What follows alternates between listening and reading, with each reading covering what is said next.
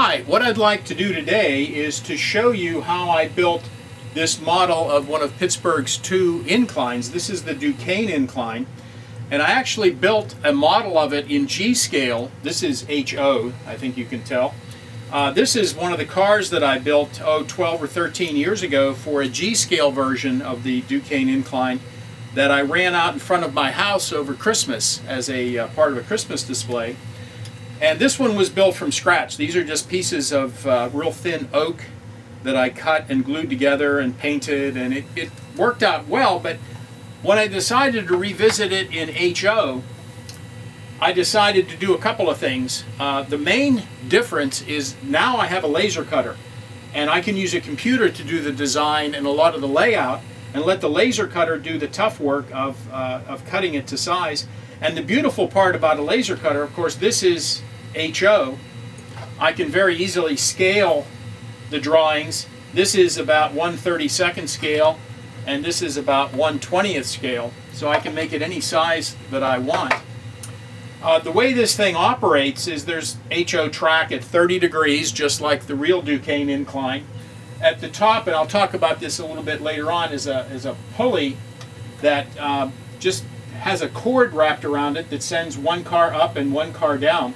So the first thing I would like to do is to take uh, some time on the computer and show you how I laid this out in Corel Draw.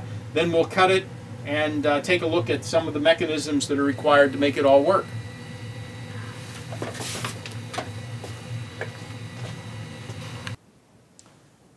This is Corel Draw version X6, which came out in about 2012. And I use this for all the design work that I do for the laser cutter. Let's uh, bring up the first set of uh, files. This is the car for the, uh, for the incline. What I did to design all of this was to start with a picture that I uploaded uh, or actually imported into Corel Draw. And I simply drew a box next to it. And in that box, I added windows, I added a door on one side, and all the detail that I needed. And by get, having the photograph always there, it made it much easier to uh, keep the proportions right and keep it looking good. The parts are, can be seen here. This, of course, is the car itself, the two sides, the two ends, and the bottom. Notice that the top of the ends is curved for the roof. Down here is a real interesting detail. Uh, the windows, you'll note, are black and green. The part of the window that's going to be cut out is black. The part that has a, uh, a border around it is green. That's important because, as I mentioned in the, uh, the other part of the video, I cut out uh, of, of heavy paper, yellow paper, that detail. And if you take a look at what we have down here in red, these are the pieces that get cut out of the, uh, the cardboard in yellow a yellow cardboard and wind up being glued into those recesses that we have in the car to give a real nice detailed look. Let's take a look at the other stuff on this. Uh, this is the front, or, the, or excuse me, the base of the incline, which is composed of a cube made up of these four pieces. And these sections, which hold the, uh, these tiny holes down here, hold the, uh, the wheels for uh, the front and the back. This happens to be the back, and these are the, for the front wheels of the incline. Up here we have the clerestory, which is this section here in the picture. This part here would be done in plastic, uh, the same as the body of the car. These are the pieces that make up the actual roof. There are two of them, and I probably should have them separated. Let's pull this one off. This is the first, or the main roof, I suppose you would say, right here. And I made this out of uh, medium heavy cardboard, which I cut out with a laser cutter and then curved to match the curve that I have here and also the curve that I have here on the clerestory. Painted it flat black. Did the same thing then with the piece of roof that goes on the very top. It sits about here in the actual drawing. If you look here, it's right there. And again, that was curved to fit uh, on top of the uh, on top of the uh, clerestory. Now, in order to get this to the laser cutter, let's say that we wanted to cut just one of these ends. I would highlight what I want to cut, and up here is an icon that uh, comes from a plugin that's available with, um, excuse me, available with the laser cutter. If I click on that, and then click on the laser cutter software, you'll see that what I just had selected is imported into the laser cutter software. This is a program called RDWorks, and it talks directly to the laser cutter. If you look down here, it says port, and it has an IP address. That's the IP address of the laser cutter itself. And up here are the colors that I talked about. There's black and there's green, and if I double click on the black, it shows that the black layer is output, yes. You can turn it off if you wish. The speed that the laser is going to travel across that uh, object is 9 millimeters a second, which is pretty slow. And what mode it's going to cut. And 77 happens to be the maximum power level that I can take my laser cutter to and still keep it in safe limits. So it's going to be cutting full power at 9 millimeters a second, which will cut really nicely through that plexiglass. If I click on the green, you'll see that it is also output. The speed is much faster at 35 millimeters a second. And is it cutting? No, it's scanning. And I'll show you what that means in a minute. And the power level is considerably lower than the 77 we had up here. If I click on this little uh, monitor screen, I get a preview.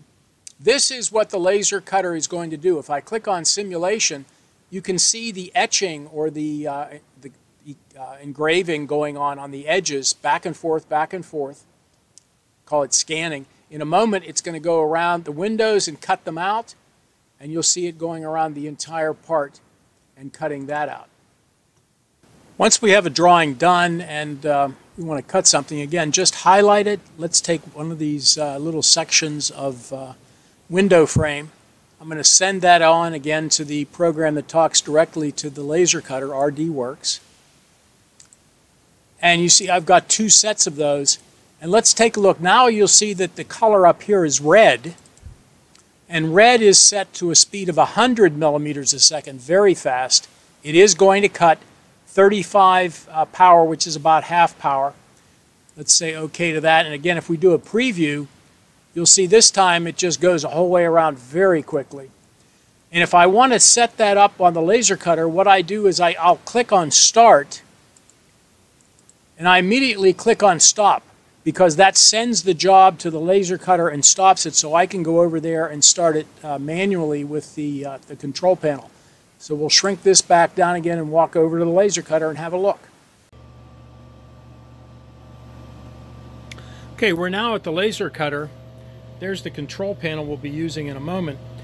And what I've done is to put a piece of the uh, heavy paper, light cardboard, whatever you want to call it, into the laser cutter and I've placed it underneath the head. I've adjusted the distance between the laser and the paper to be about, uh, about four millimeters. And what I'm going to do now is hit a button on the control panel that says frame. And that just shows me where it's going to cut. And now I'm going to say start. And I want you to note one thing. I turned off a blower that's normally turned on that blows air out of the nozzle and clears away the smoke and things. I blew, I turned that off rather because if the blower were on, it would uh, blow the pieces around and probably cut through things that I don't want to have cut. So let's get that started. Quite a bit of smoke because that blower is off.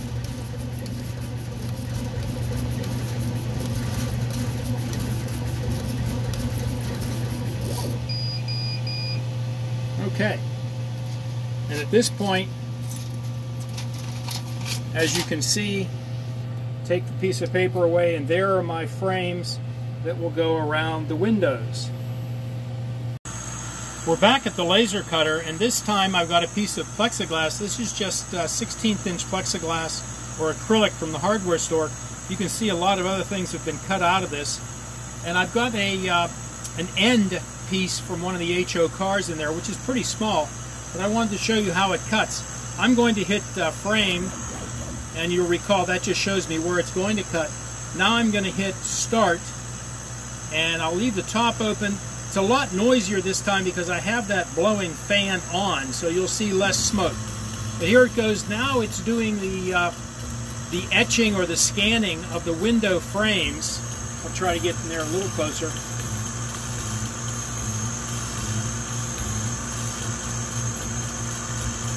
The middle frame is a little bit higher. Now it's doing the two lower ones.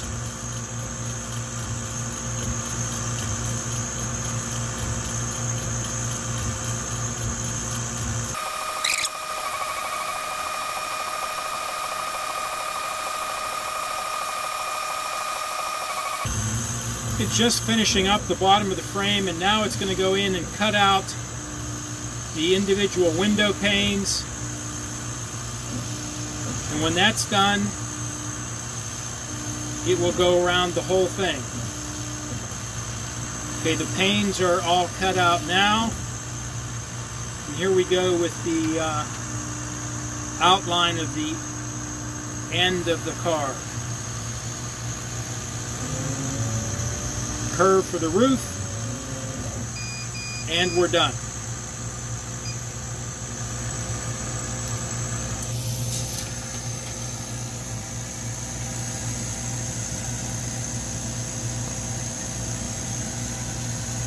And there's the piece. Pop out those little window panes. And you can see the etched that yellow is just some protective film that's on top of the, uh, the acrylic when you get it at the store. Let's take a few minutes to look at the other files that are used in CorelDRAW. We'll leave the, uh, the car behind and take a look at the support system. This is what I designed to support the track.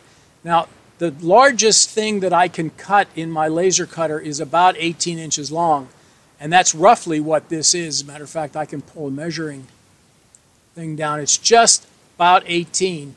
That's not enough. I've got about three feet of track on the, uh, the little HO uh, incline that I built. So what I did is I created one section, and what we're going to do is build two of them. And as you, I'm going to show you here in a second, if I have a second one, notice how these little pins come out of one and go into this guy, which will give me a three foot long track support. Just for fun, let's move that in tightly. And then to make it a little bit stronger, let's see if I can get in tight here. Yeah, these pins go in just like that. To make it a little bit stronger, I have these uh, sections that go underneath. This one, for example, as you can see, is going to go into the pins. This will be uh, underneath and aimed up to support that, kind of like an I-beam. So all of these pieces go together to make the support system, cut out of uh, eighth inch plywood. These are the pieces for the pulley. You may recall that this one here was about an inch in diameter and that was made out of quarter inch plexiglass. These two were an inch and a quarter in diameter, and they were made out of eighth inch plexiglass, so that's something else we would need to cut. Now, in addition, let's take a look at the buildings that I made. Now, I did not try to make a 3D model of the building at the top of the Duquesne incline, but you can see where the cars go in right here. I brought a picture in and then made a 2D representation of it with the windows in roughly the same place and the opening for the, uh, uh, for the incline in the same place. Some of it is done in black, and as you can see, some is done in green. So we're going to etch out the green or scan it, and we're going to cut out the black. And in a similar manner, the bottom building, I brought in two pictures and over here, I came up with a representation in 2D with that. One of the tricks that I pulled is I have it forward, facing forward at the bottom, looking like this. But then I turned it around inside out. This is one of the neat tricks you can do with CorelDRAW. If I do this, now it's inside out, or I'm looking at it from the back. I made one for the back of this same uh, bottom section, bottom building. So either way you look at it, you're going to be seeing uh, the bottom building, either forward or reversed. to put all of this together, of course, you take the parts that we cut out with the laser cutter, and here's a couple of the uh, samples that I put together. Glue those together, and here's one of the cars. And it simply has uh, a bottom, two ends, and two sides. Glue those together, spray paint them red, but the question that you might be asking yourself, or at least I asked myself, is how do I get the detail around the windows? Uh, as we showed in the Corel Draw um, uh, work, there's an etched area, I can show you on this larger car. This is just uh, a piece of plywood uh, that was cut out for the car. And what I did is I cut out the windows, of course, and I etched an area around the windows as the frame. But even with that etched area, to take the time to uh, paint that with a paintbrush would be very tedious, and of course with spray paint it would be virtually impossible. What I did is I came up with a little trick. Because Corel Draw and the laser cutter are so precise in what they do, I was able to cut out, and this is uh, oh thin cardboard, we used to call it oak tag, like a, a heavy paper, and I used yellow paper that's cut to the exact same size as that etched area and I can lay that piece of yellow paper right in there to give me the detail around the window. And of course, if I put a little bit of white glue in there first, it's going to stick and it's going to give you the detail that you see on these little HO cars as well. Uh, worked beautifully. I was quite pleased with that. The other thing that I'd like to show is how this uh, mechanism up at the top operates. Uh, I'll put a, a, couple of pictures uh, superimposed over the video so you can see it in more detail, but there's a motor and the pulley, let's talk about the pulley first. The pulley, as we saw in the Corel Draw video, is made up of three pieces of plexiglass, two eighth-inch pieces about an inch and a quarter in diameter, uh, a quarter-inch thick piece that's about one inch in diameter, and I glue the three of those together to make a little pulley. Here's one that's glued up. The problem with this is it's going to spin at the top and there's a piece of thread, uh, it's called button thread, I guess a little bit heavier than regular thread that connects the two cars. If I just ran that across, I think when the pulley spins, it would just allow that cord to spin there and wouldn't do anything. It doesn't have enough grip. This is way too shiny. So what I did is I came up with an idea of taking a piece of bicycle inner tube and stretch it out a little bit so that it's uh, a little easier to work with and wrap it around that plexiglass pulley. I think you can see where I'm headed here. I'm going to get it over, and I may not take the time to do the whole thing right now, but the idea is to pull that rubber over the pulley, get it on both sides, so that you wind up with a rubber channel down the center of the pulley that's going to give quite a good grip uh, to the to the pulley as it spins and that thread is going to uh, grab onto the rubber and propel the cars up and down. There you go. That's almost properly done. You can see the the little valley there in the center where the uh, the rubber goes into the middle of it. Now, how do you connect the pulley to the motor mechanism? Well, the motor I used, these are beautiful little gearhead motors that you can get from Banggood and Amazon, a few other places. And if I take a, uh, this is 5 volt uh, line that I'm pulling up, it's spinning at a nice rate. And if I grab it with my fingers, there's no way I'm going to stop that thing from spinning. Well, how do you connect this to the pulley? Well, what I did is I found something called a Dubro collar. Here's the, uh, the container, DU-BRO collar. This happens to be an eighth inch diameter version. And it's a little donut with a set screw in it and it comes with a uh, an Allen wrench for the set screw. And if you put that Dubro collar over the shaft, the shaft has a flat area in it, tighten that set screw, now you've got a permanently attached collar, and that collar gets soldered to a piece of quarter inch brass tubing.